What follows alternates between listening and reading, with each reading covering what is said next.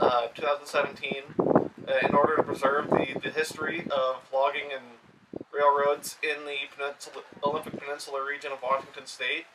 We recognize the uh, tremendous uh, impact that it has had uh, through not only the Simpson Lumber Company, formerly Simpson Timber Company, that uh, how it shaped the, the landscape of the communities in the area. Um, I know there's a lot of families that even day, you know, Simpson's only been gone a few years. Uh, it helped put a lot of families uh, through schools, uh, kept a lot of good jobs available for everybody. Uh, it really kind of helped serve serve the world in terms of the supply of the lumber.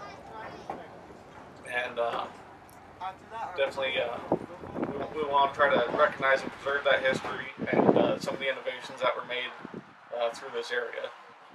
Yeah, this is a unique piece that was uh, part of it started off as a Gibson speeder. And in 1985, Simpson Railroad rebuilt this in their own car shops to the configuration that you see today.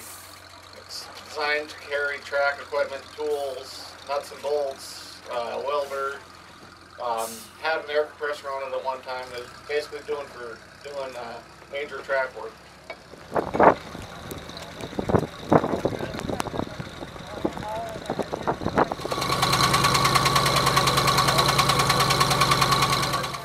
Four ball.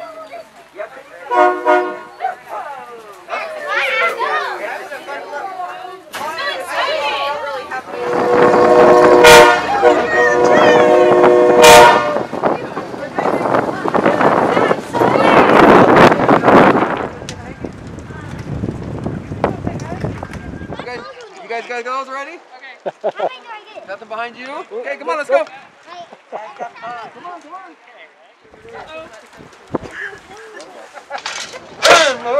Look, he now has to catch up on you.